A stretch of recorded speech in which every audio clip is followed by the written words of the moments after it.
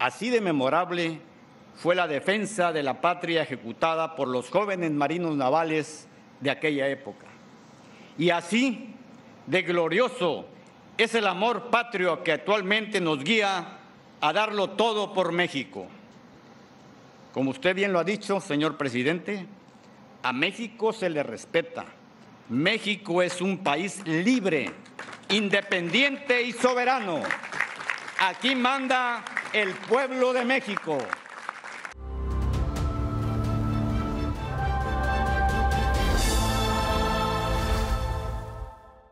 ¿Qué tal amigas y amigos? Gracias por sus likes, por sus comentarios y por compartir nuestros videos.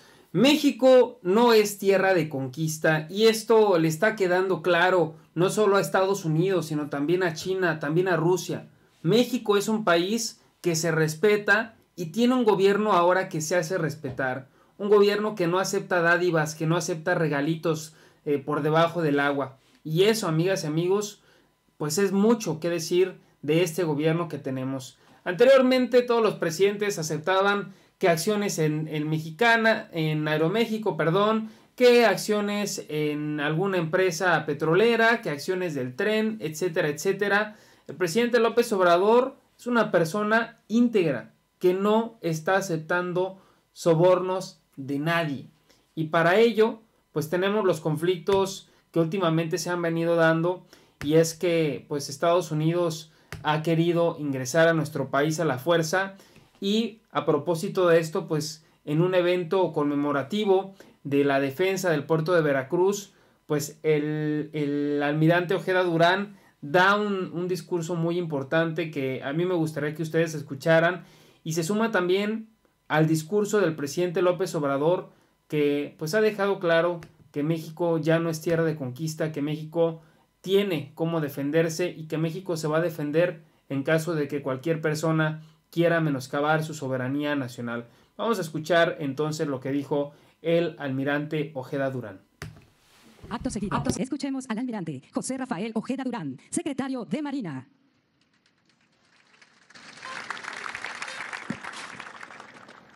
Licenciado Andrés Manuel López Obrador, presidente constitucional de los Estados Unidos mexicanos y comandante supremo de las Fuerzas Armadas. Ingeniero Huitlagua García Jiménez, gobernador constitucional del Estado de Veracruz de Ignacio de la Llave. Señor Alejandro Armenta Mier, presidente de la mesa directiva de la Honorable Cámara de Senadores. Compañeras y compañeros del Gabinete de Gobierno de México, autoridades de los tres órdenes de gobierno, integrante de las Fuerzas Armadas, personal de la heroica Escuela Naval Militar, jóvenes cadetes que hoy juran bandera, invitados especiales que nos acompañan, apreciables familias aquí presentes, representantes de los medios de comunicación. Muy querido Veracruz y muy querido México, el 21 de abril de 1914, el suelo nacional se cubrió de gloria. Hoy conmemoramos una fecha que se resume en un gran amor patrio. El pueblo veracruzano y los marinos de la entonces Escuela Naval Militar, unidos en un noble y sublime propósito, defendieron heroicamente a México ante la supremacía extranjera que contaba con una flota de guerra de 50 buques y 6.000 soldados, lista para ejecutar una ocupación en este puerto. Destaca la valentía y arrojo de un puñado de mexicanos y mexicanas que, aún sabiendo que la victoria era lejana, optaron por el riesgo de perder la vida antes de atestiguar el avasallamiento de nuestra soberanía. Dicha gesta, colmada de estoicismo, está empapada de la sangre de ilustres mexicanos que nos heredaron un ejemplo de dignidad y de valentía. En la memoria nacional prevalece el actuar de los insignes compatriotas, entre ellos el comodoro Manuel Azueta Perillos, el teniente José Azueta Abad y el cadete Virgilio Uribe Robles. A todos, la patria los reconoce y honra con laureles de gloria. A 109 años de la heroica defensa del puerto de Veracruz, el honor, el deber, la lealtad y el patriotismo que impulsó a los marinos navales al amparo de la patria sigue intacto. Valores que son el faro que guía el actuar de las y los integrantes de nuestra institución y que son el estandarte bajo el cual nuestros cadetes de primer año juran lealtad a la patria ante la insignia nacional. Un juramento de entrega incondicional a la nación. Un acto que refleja su inmenso amor a México. Cadetes que hoy juraron bandera. Por mi padre y por mi patria. Así inició la defensa del suelo nacional del teniente José Azueta nuestro héroe nacional quien ante el inminente ataque de fuerzas enemigas se negaría a dejar a su suerte tanto a su padre, el comodoro Manuel Lazueta Perillos, como a las que habían sido su alma mater y, por supuesto, a nuestro querido México. En su valerosa defensa, recibió crueles heridas que más tarde le causarían la muerte. Este noble mexicano dio muestras de un elevado amor tanto a su familia como a su patria. Sabía el valor de conservar y defender tan sublime e inmaculados pilares aún a costa de su vida. Una valerosa acción que les hereda un sinfín de enseñanzas a ustedes, jóvenes cadetes. Hoy, el México en el que viven es muy diferente. Las armas no son la opción, menos aún esperamos que por el suelo nacional corra la sangre de nuestro pueblo. Pero la patria precisa del mismo heroísmo demostrado por todos y cada uno de quienes defendieron a México en aquella hazaña. Ahora, la patria lo llama a velar por la paz, la tranquilidad y la seguridad de nuestro pueblo sobre una base de inclusión y justicia social. México precisa de una juventud preparada, renovadora e impulsora de grandes cambios, siempre basándose en la ética y el respeto a la libertad de nuestro pueblo. A sus familias, todo nuestro agradecimiento por su apoyo. A la heroica Escuela Naval Militar, mi reconocimiento por el gran trabajo que están haciendo con ustedes. Todos estamos unidos por el mismo propósito, formar mexicanas y mexicanos dispuestos a ser una nación más próspera, más justa y más igualitaria. Señor presidente, entre las crónicas de la prensa de 1914, que narran los pormenores de este episodio histórico, destaca la del Imparcial, en su publicación del 1 de mayo de ese año. Cito título. Sienten respeto por la escuela naval. Continúa. Los norteamericanos se muestran admirados del heroísmo de los cadetes de la escuela naval. Nunca creyeron que unos niños lucharan con tan grande nuevo por defender el punto más expuesto a los disparos de la artillería de los barcos. Cierro las comillas. Así de memorable fue la defensa de la patria ejecutada por los jóvenes marinos navales de aquella época. Y así de glorioso es el amor patrio que actualmente nos guía a darlo todo por México. Como usted bien lo ha dicho, señor presidente, a México se le respeta. México es un país libre, independiente y soberano. Aquí manda el pueblo de México.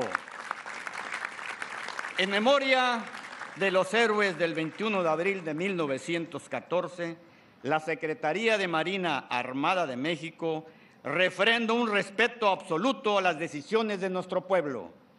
Refrenda un legítimo deseo de construir, afincar un país de paz, seguridad y bienestar.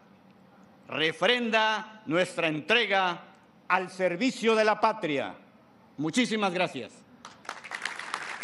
Pues un mensaje importante por parte del secretario de Marina Ojeda Durán y que al final de cuentas pues nos habla de este conflicto que hay porque repito el gobierno de Estados Unidos tiene insiste en que México es el causante de sus problemas de salud pública cuando el causante pues es ese mercado incesante que ellos tienen por el consumo de las sustancias que son prohibidas y que vemos que ellos van a pasos agigantados en favor de una legalización. Señoras y señores, mientras exista algo prohibido, la sociedad estadounidense, porque tiene los medios para comprarlos, pues van a seguir buscando las cosas prohibidas. No se van a dar abasto legalizando todo lo que quieran eh, consumir los, los estadounidenses. De verdad se los digo. Anteriormente estaba prohibido la venta de eh, bebidas como whisky, tequila, estaban prohibidas en Estados Unidos. ¿Qué pasó? Pues fue tanto el consumo que tenían por debajo del agua que terminaron legalizándolas. Y así se fueron yendo con otras cosas. Hoy ya hasta algunas plantitas de color verde ya están, eh, ya, son, ya son permitidas. Incluso la NBA permite el consumo de esas plantitas.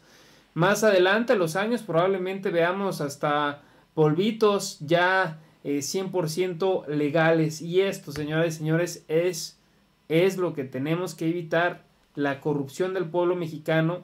Y también tenemos que evitar que el pueblo estadounidense se deje de corromper. Pero eso está muy difícil, muy difícil de evitar porque es normal que en una sociedad con dinero, pues el alma se corrompa.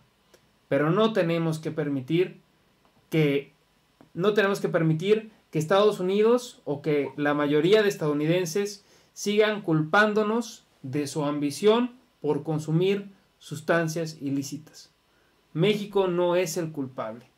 Ellos responden a la demanda tan alta que tiene este país del norte y lo que deberían de tener pues sería una demanda alta de valores, una demanda alta de humildad. Pero eso, eso no va a pasar porque lo que ellos les gusta es el consumo, lo que ellos les gusta es pues tener más, más, más, comida más grande, una casa más grande, una camioneta más grande, llenarse el estómago de más y más y más, llenarse los pulmones de más y más y más. Ellos no paran. Vamos a escuchar por último las palabras del presidente López Obrador. Amigas, amigos, mexicanas, mexicanos, cadetes de la Heroica Escuela Naval Militar, marinos de la Armada de México.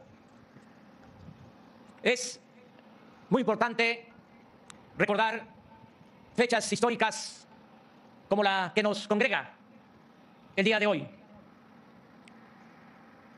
Hacerlo significa darle su justa importancia a la historia, que es la maestra de la vida.